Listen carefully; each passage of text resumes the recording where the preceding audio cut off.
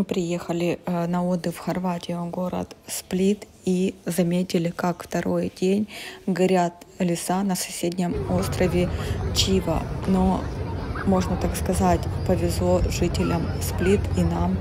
Ветер дует не в эту сторону.